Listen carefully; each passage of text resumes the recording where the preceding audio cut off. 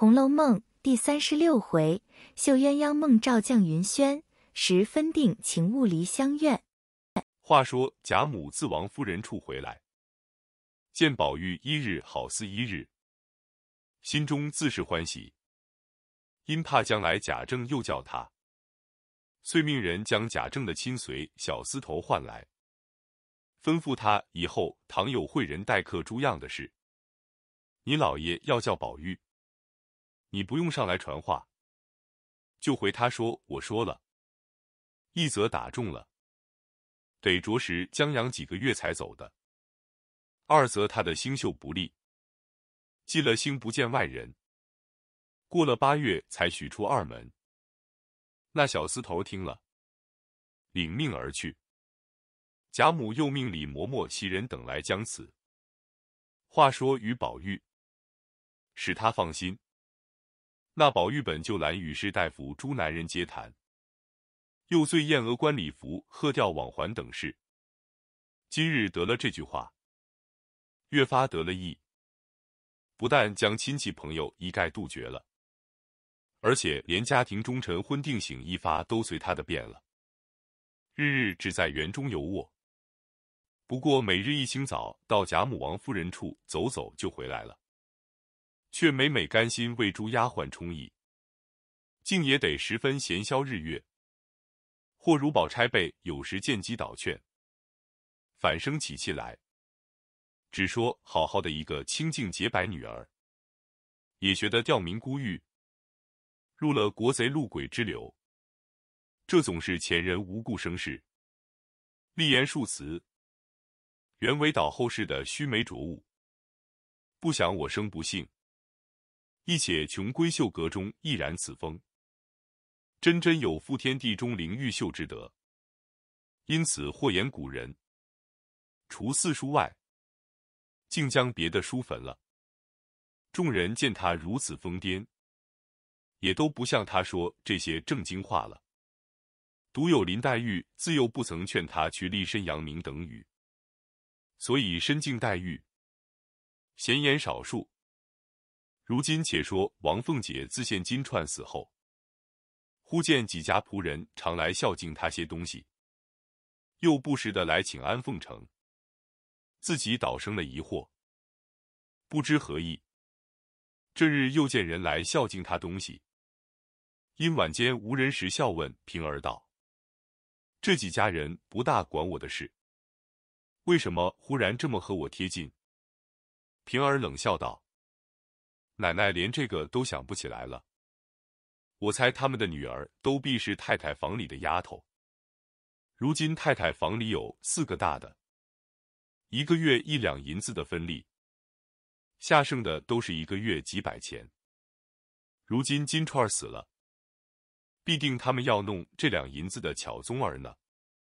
凤姐听了，笑道：“是了，是了。”倒是你提醒了，我看这些人也太不知足，钱也赚够了，苦事情又亲不着，弄个丫头搪塞着身子也就罢了，又还想这个，也罢了。他们几家的钱容易也不能花到我跟前，这是他们自寻的，送什么来，我就收什么。横竖我有主意。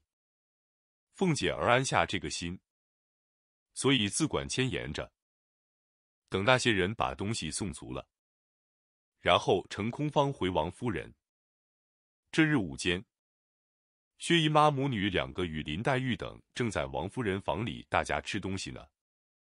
凤姐儿得便回王夫人道：“自从玉钏姐姐死了，太太跟前少着一个人。太太或看准了那个丫头好。”就吩咐。下月好发放月钱的。王夫人听了，想了一想，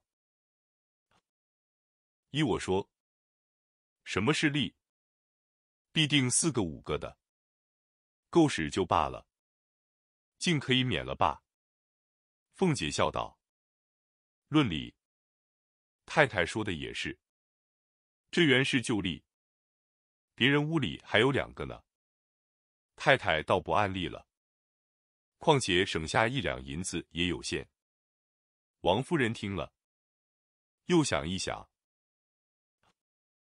也罢，这个分利只管关了来，不用补人，就把这一两银子给他妹妹玉串儿吧。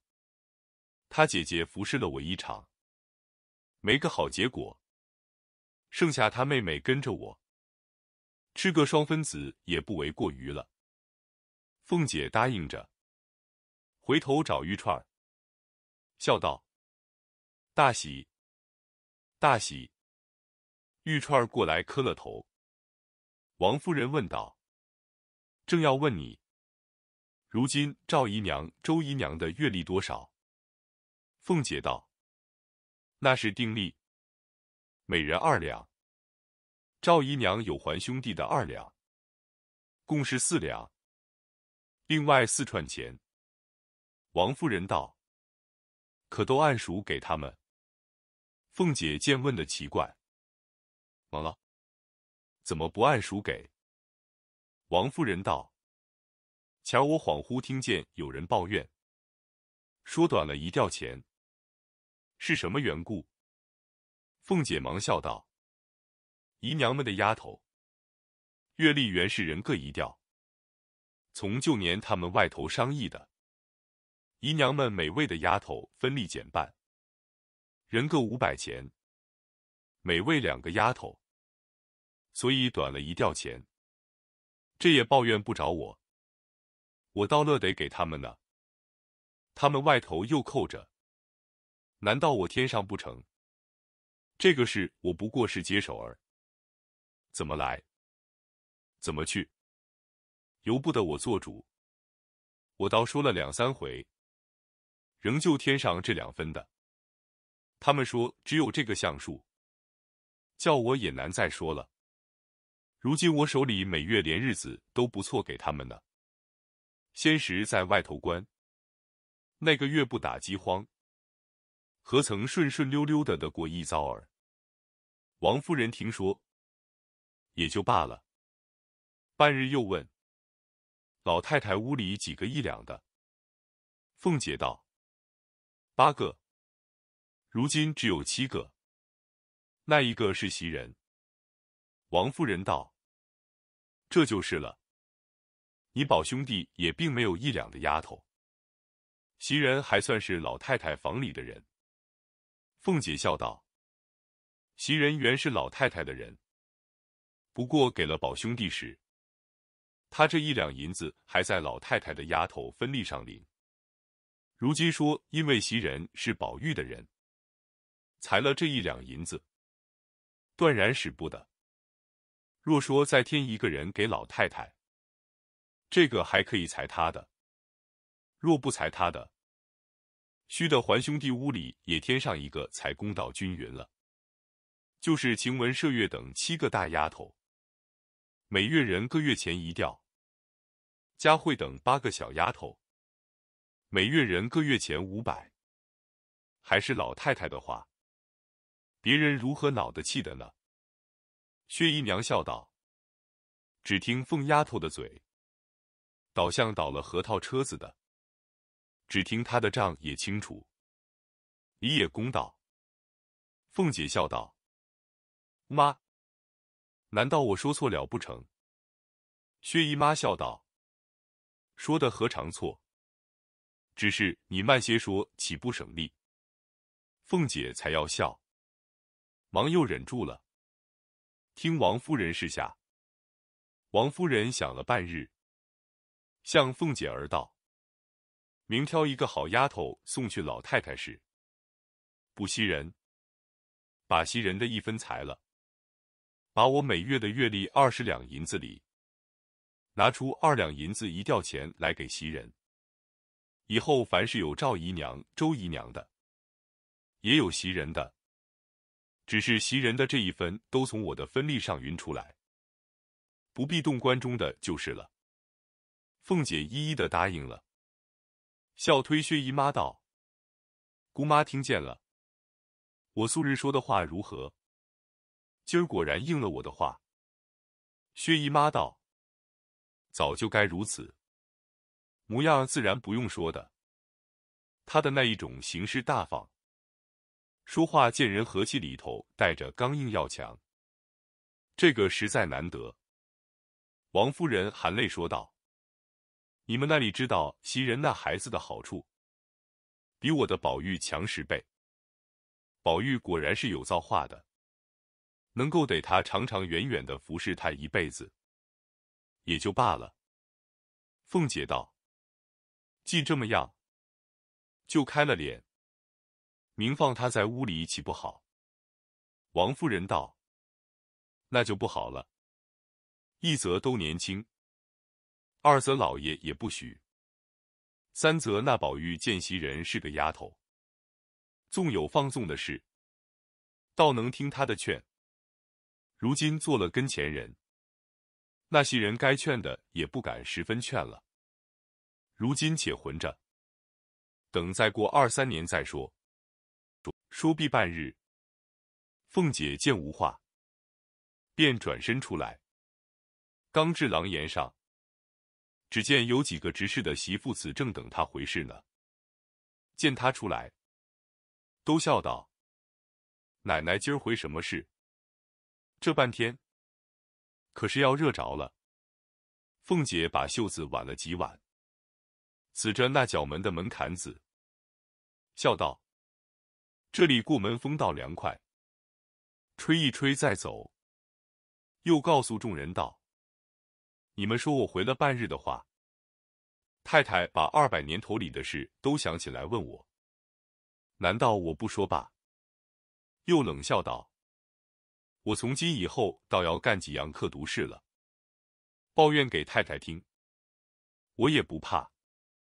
糊涂油蒙了心，烂了舌头，不得好死的下做东西，别做娘的春梦。”明一国脑子扣的日子还有呢，如今踩了丫头的钱，就抱怨了咱们，也不想一想是奴籍，也配使两三个丫头，一面骂，一面方走了，自去挑人回贾母话去，不在话下。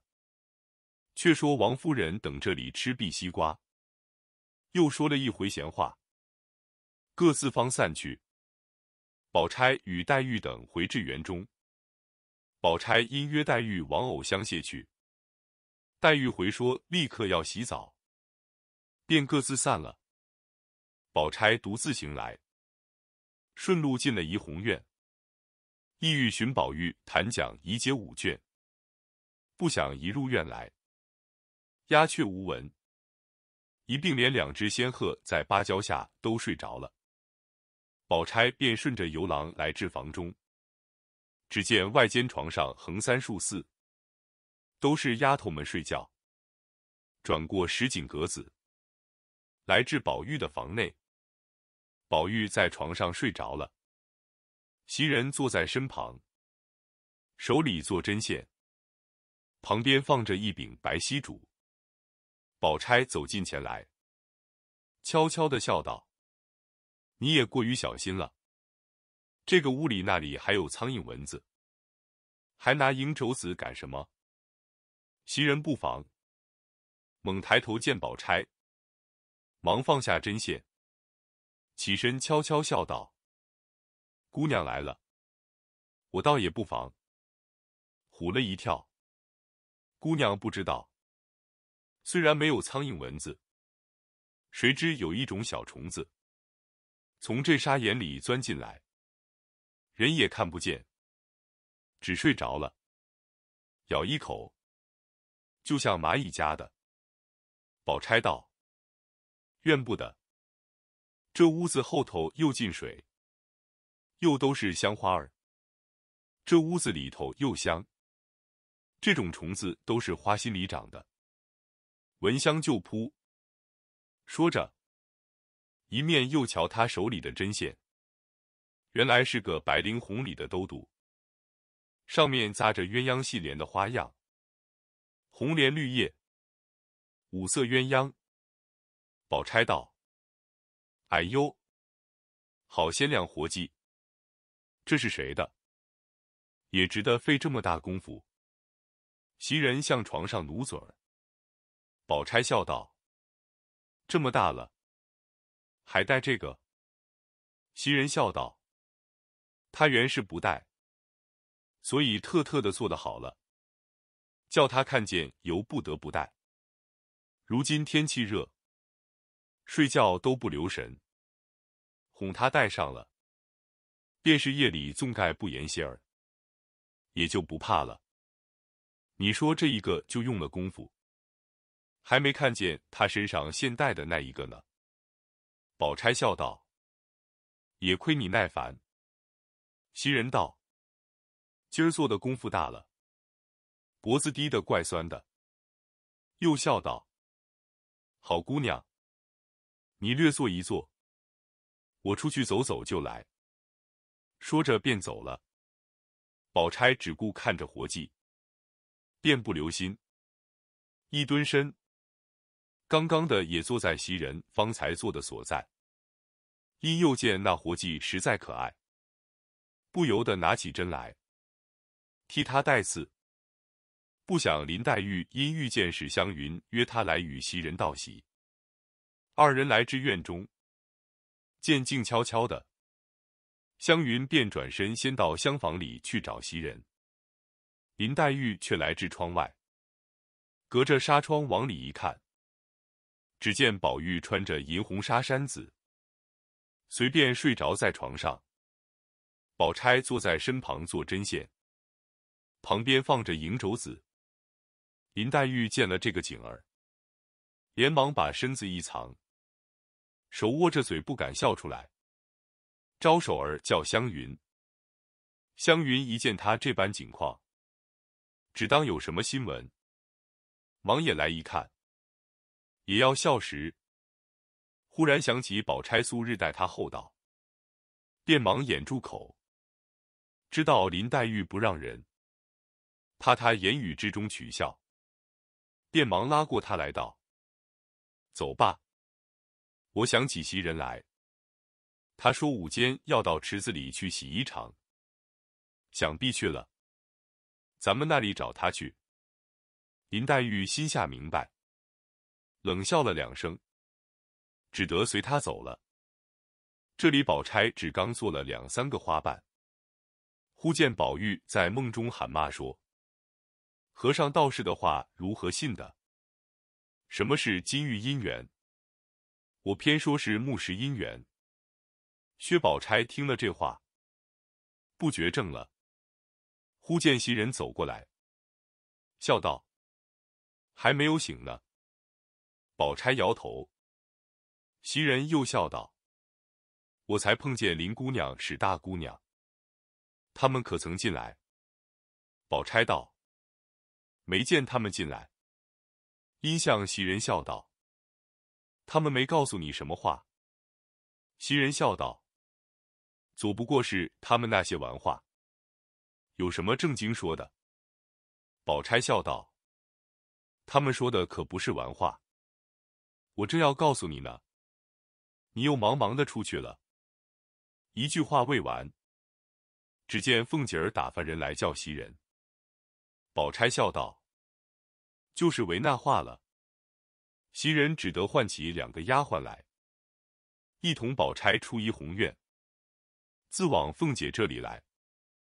果然是告诉她这话，又叫她与王夫人叩头，且不必去见贾母。倒把袭人不好意思的。见过王夫人，急忙回来。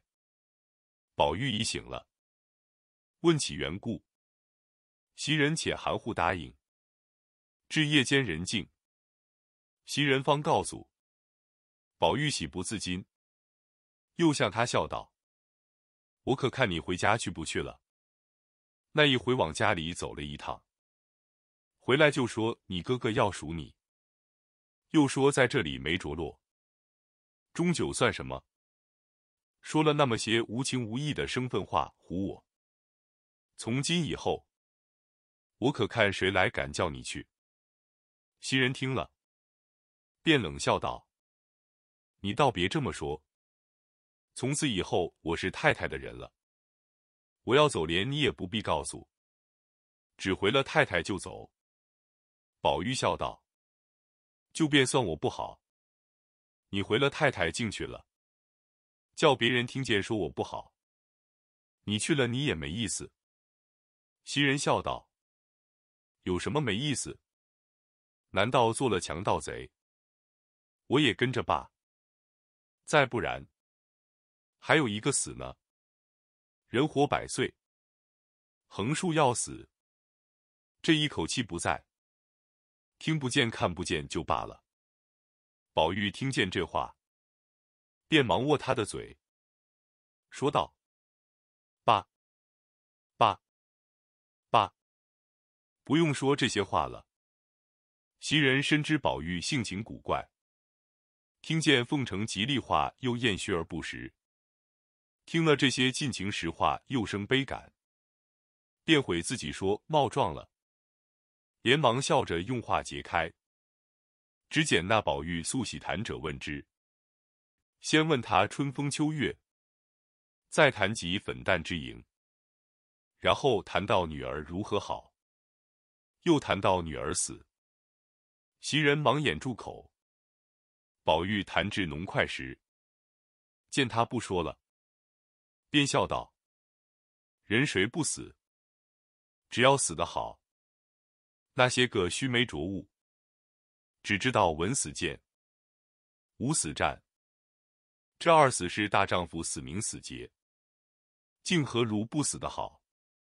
必定有昏君他方见，他只顾邀名，猛拼一死，将来弃君于何地？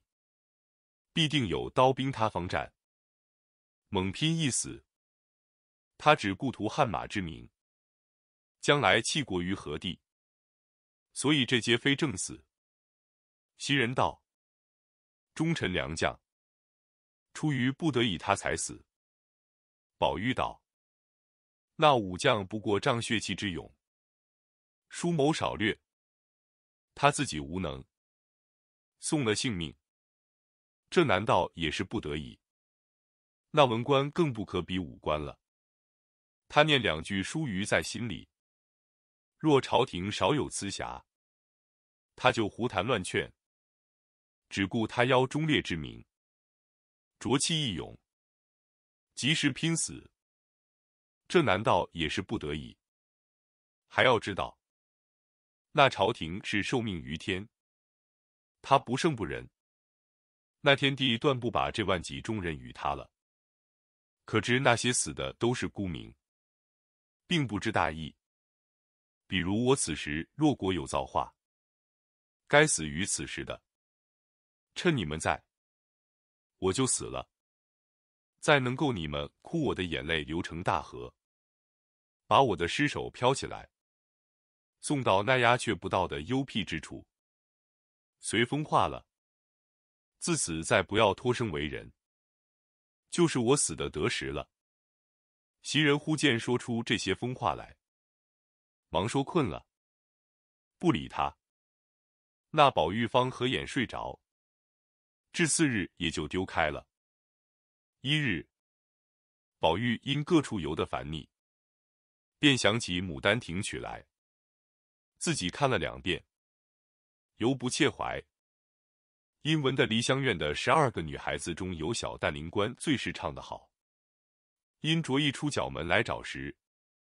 只见宝官、玉官都在院内，见宝玉来了，都笑嘻嘻的让座。宝玉因问灵官独在那里，众人都告诉他说，在他房里呢。宝玉忙至他房内，只见灵官独自倒在枕上，见他进来，闻风不动。宝玉素习与别的女孩子玩惯了的。只当灵官也同别人一样，因进前来身旁坐下，又陪笑央他起来唱《鸟情思》一套。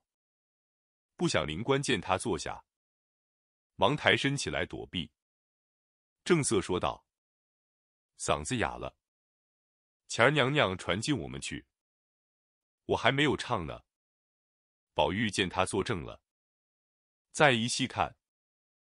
原来就是那日蔷薇花下画强字那一个。又见如此景况，从来未经过这番被人欺眼，自己便讪讪的红了脸，只得出来了。宝官等不解何故，因问其所以，宝玉便说了，遂出来。宝官便说道：“只略等一等，强二爷来了，叫他唱。”是必唱的。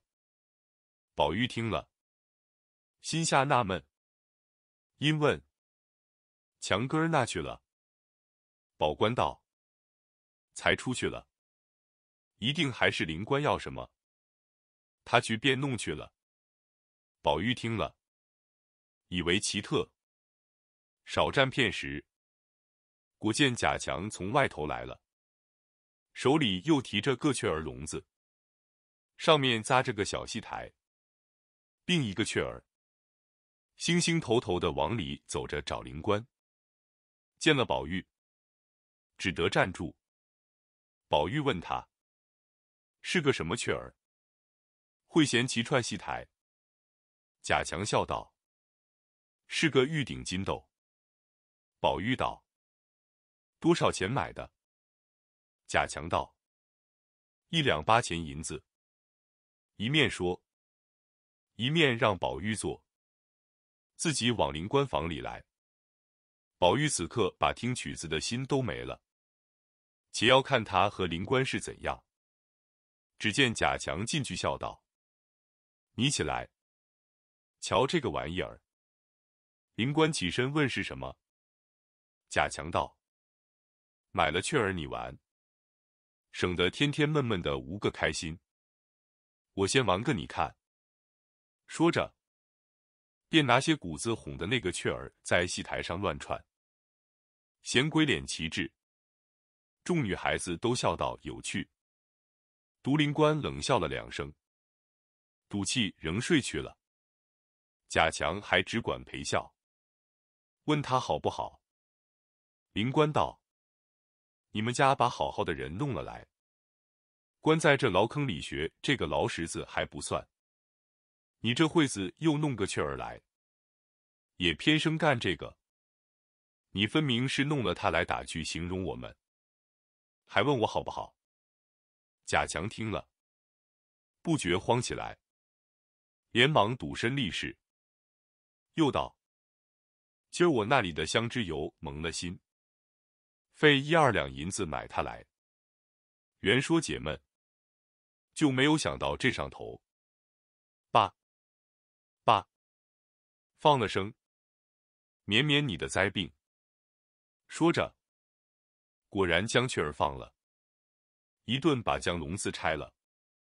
灵官还说，那雀儿虽不如人，他也有个老雀儿在窝里，你拿了它来弄这个牢石子也忍的。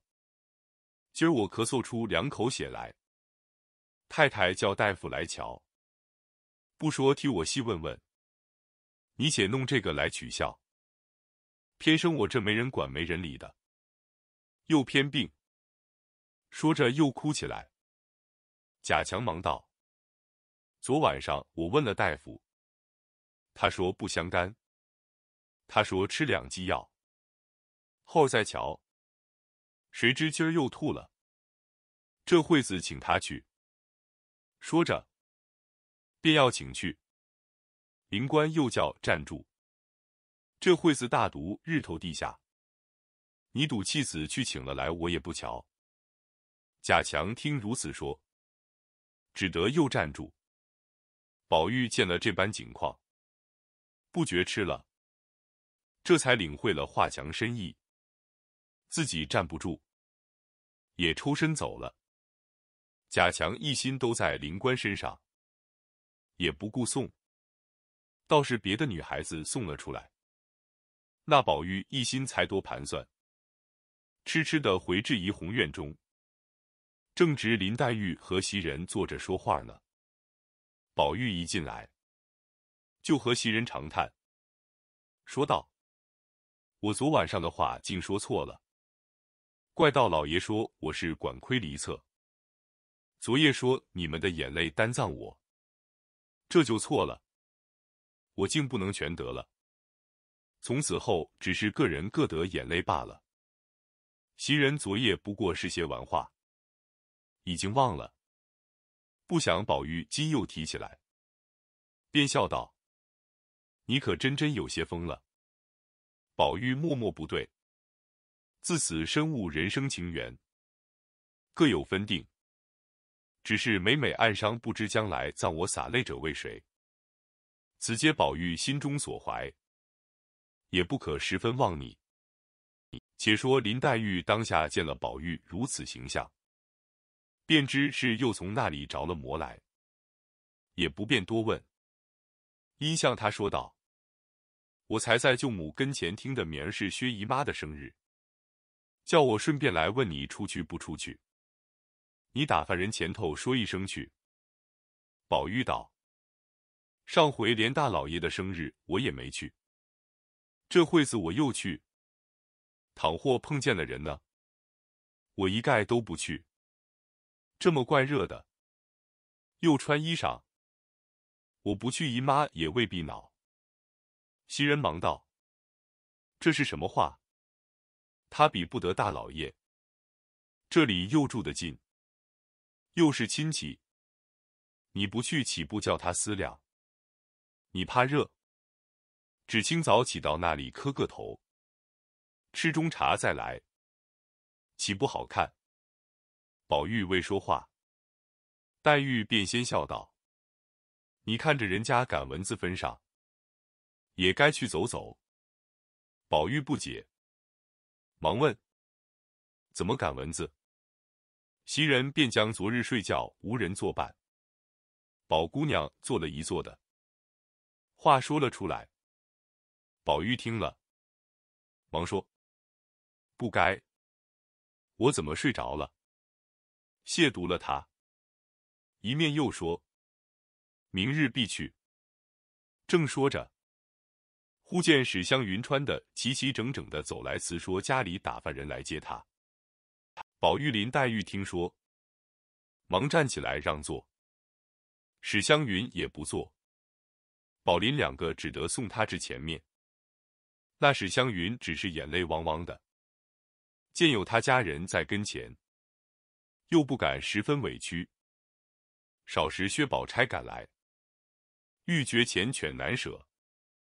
还是宝钗心内明白，他家人若回去告诉了他婶娘，带他家去又恐受气，因此倒催他走了。众人送至二门前，宝玉还要往外送，倒是湘云拦住了。一时，回身又叫宝玉到跟前，悄悄的嘱道：“便是老太太想不起我来。”你时常提着打发人接我去，宝玉连连答应了。眼看着他上车去了，大家方才进来。要知端的，且听下回分解。